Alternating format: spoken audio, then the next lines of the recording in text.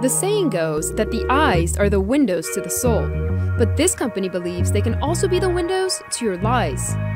Since its invention in 1921, the polygraph has been the standard for deception detection. But Converus, which translates to with truth, has come up with an automated technology that it says can tell when you're fibbing by keeping a close watch on your eyes. Uh, when a person is deceptive, there's a change in pupil size and there's a, there are differences in the way the subject reads statements.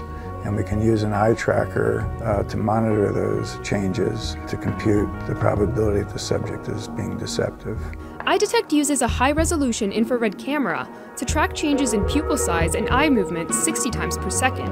It is 86% accurate according to the company. One of the appeals of EyeDetect is that it's faster and cheaper than a polygraph. It's instantaneous it's not uh, subject to human interpretations. It's not intrusive. It leads the person that's being untruthful into believing that they're going to get away with something, and it does just the opposite. I traveled to Salt Lake City to test it out. The first step was to pick a number between 2 and 9 and not show it to anyone. I then used this number to answer a set of true or false questions. So you are going to be honest on every statement that is presented to you, except for the statement that deals with the number that you wrote down.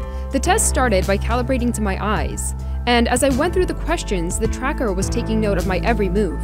After 80,000 measurements and three rounds of questions, I got my results. And we believe your number was seven. Is that accurate? It is. Hold up your paper. Yeah, got a seven.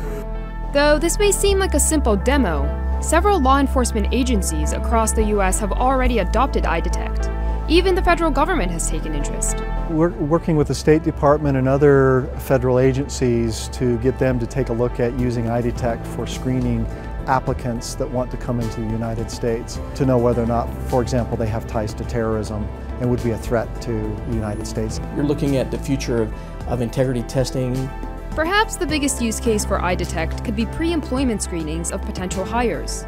Though in the US, law prevents non governmental agencies from using lie detection on their employees, EyeDetect is already being sold in 34 other countries to businesses like casinos, law enforcement groups, and banks. Each EyeDetect station costs about 4,000 bucks, with an additional fee per exam.